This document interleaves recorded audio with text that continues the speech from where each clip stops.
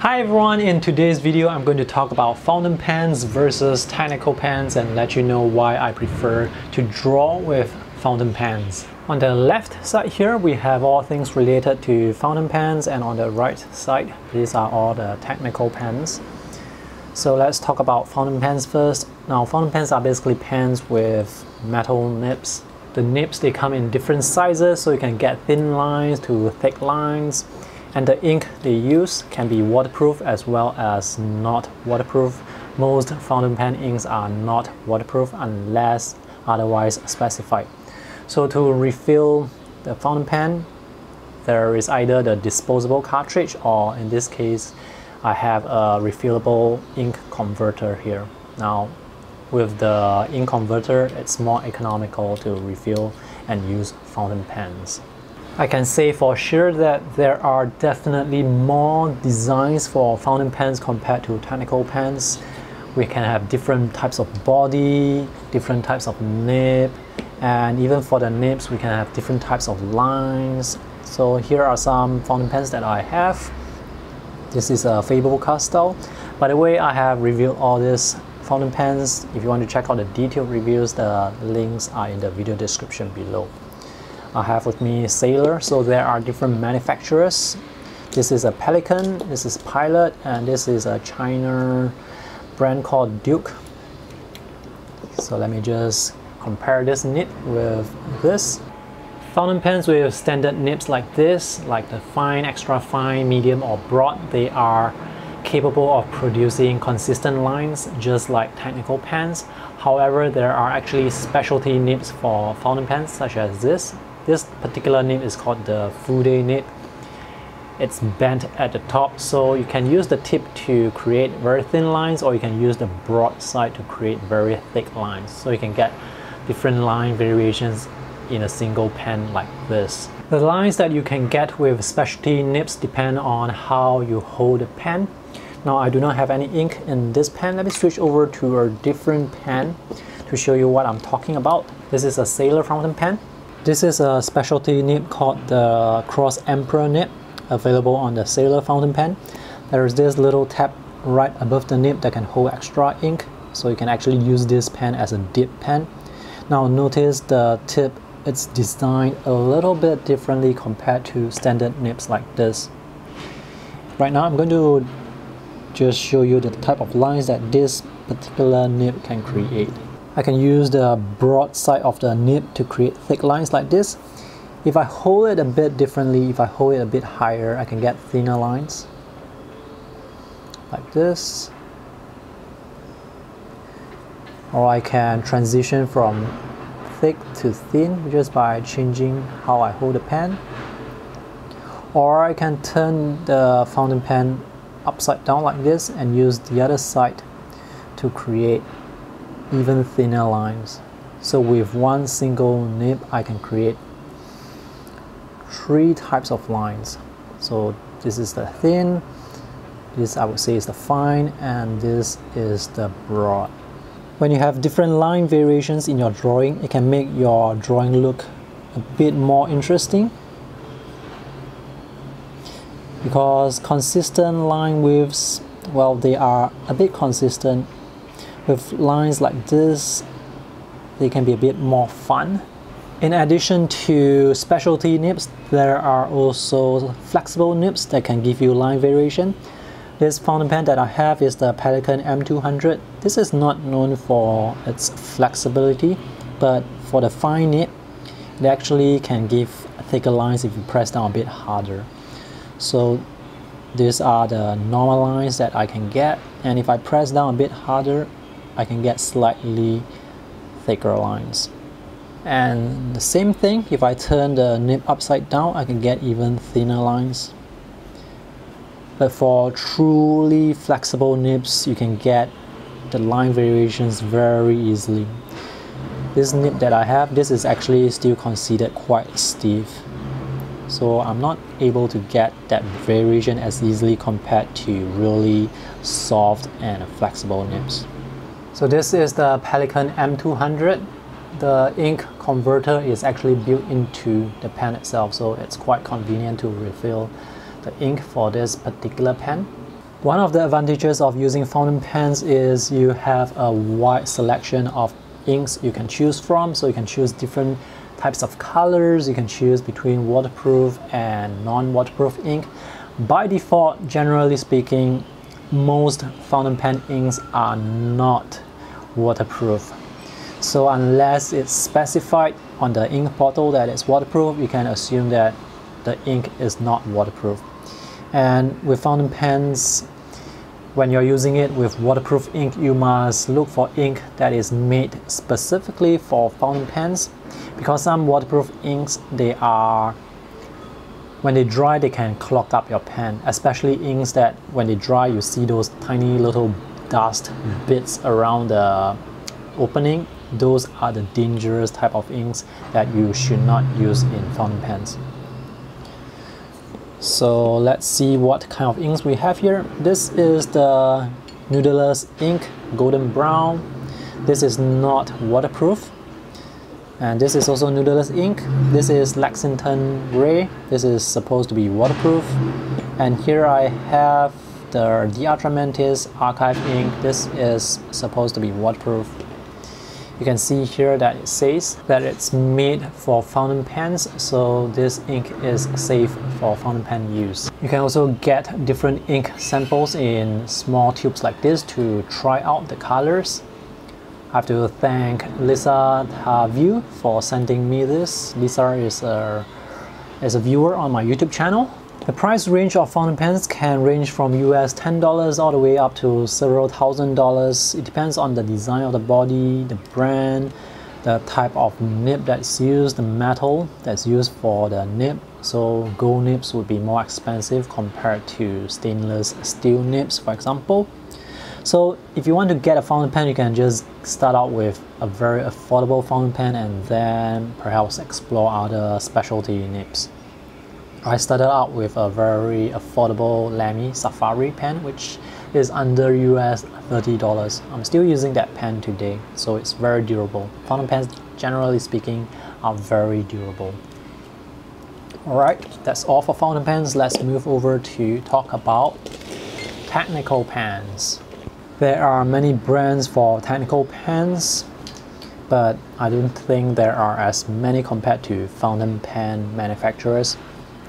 Alright, I typically group technical pens into two groups, disposable and non-disposable. So the non-disposable ones are the ones that you can refill. So these are the ones that I have. This is the Rotring Isograph. There are other brands like Koh-i-Noor.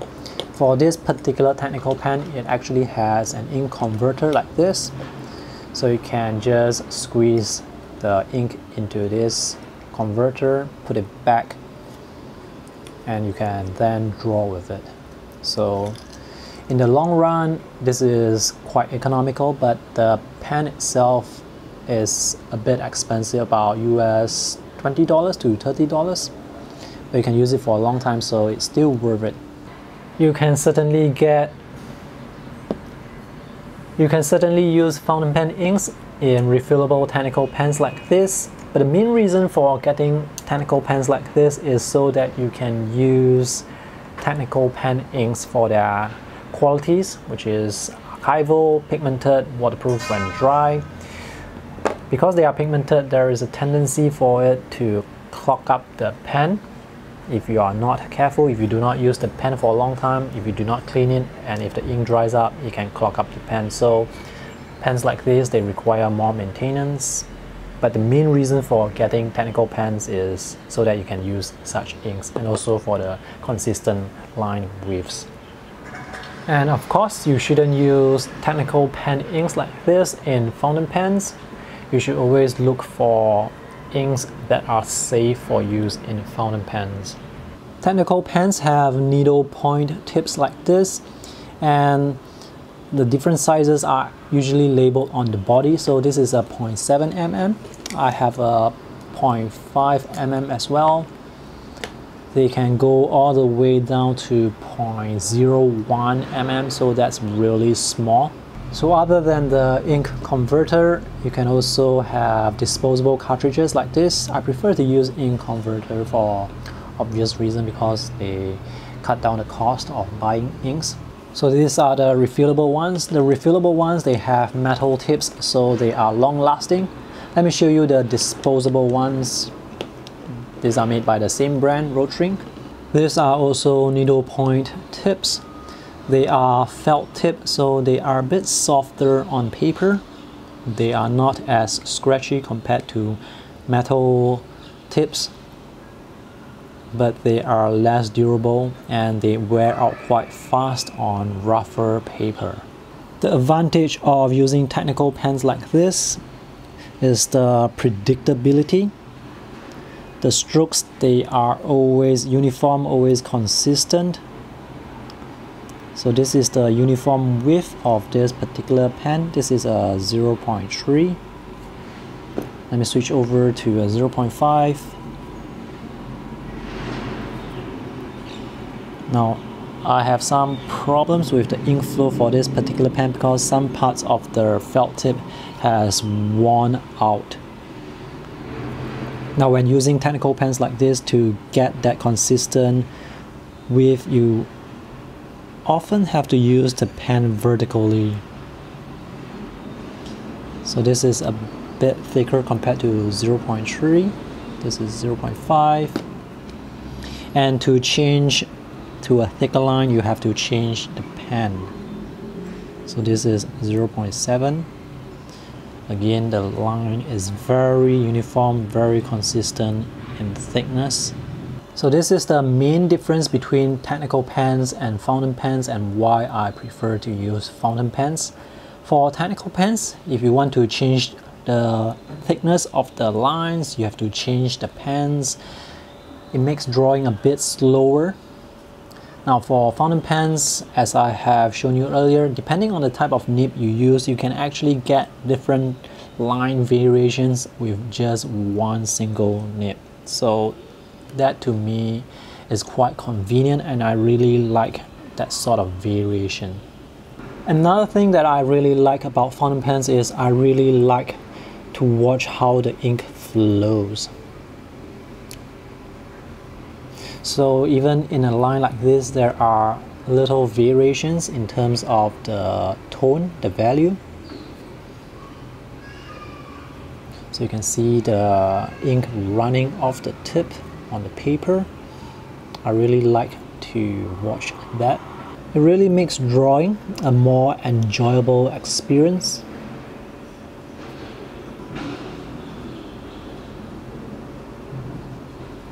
Technical pens like this, they usually use waterproof ink. They are usually pigmented, they are archival, so they last a long time. And because they are waterproof, you can use them with other medium as well, for example, watercolor. Now, in addition to needle point tip, there are also brush tips for technical pens like this. So this is a brush tip. So this is not a technical pen anymore, this is considered a brush pen. The color selection for technical pens is usually quite limited. Black is obviously the most common type of ink you can find in technical pens. Some companies they make additional colors, for example Copic, there is this brown and these are also Copic technical pens. This is red, yellow, orange, sky blue, these are all pigment inks, which is quite incredible because it's usually quite rare to find colored technical pens that use pigment inks. This is made by Derwent. This is called the Graphic Line Maker. This is graphite in color. They also have sepia color. The price range for technical pens is much lower compared to fountain pens.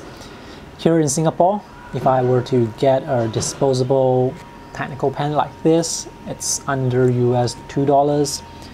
For refillable pens like the Rotring Isograph or Rapidograph, they are more expensive. They can cost sometimes 10 times as much compared to the disposable pen. This is the Copic refillable. So they use the cartridge system. So you can replace the cartridge. This is almost as expensive or more expensive compared to the disposable pen. So actually personally I think this is not worth the money because as you use the felt tip pen for drawing the felt tip is going to wear off so you have to replace the tip as well and you have to replace the ink. So you might as well get a disposable pen like this. When the felt tip wears out the ink is almost uh, gone. You can just replace the pen. But it's less environmentally unfriendly of course there are artists who prefer fountain pens as well as artists who prefer technical pens. For me, I prefer to draw with fountain pens because I find it to be more enjoyable. However, I do use pens specifically for the type of lines that they can create. So if I'm drawing a sketch, a watercolor sketch, it's okay to use fountain pens. But if I want to add some colored lines, then I may actually switch to using those colored technical pens because if I were to refill color into the fountain pen, it's very inconvenient. So that's where the convenience of the technical pen will come in. So that's all for today's video. I hope this is a good and helpful introduction to fountain pens versus technical pens.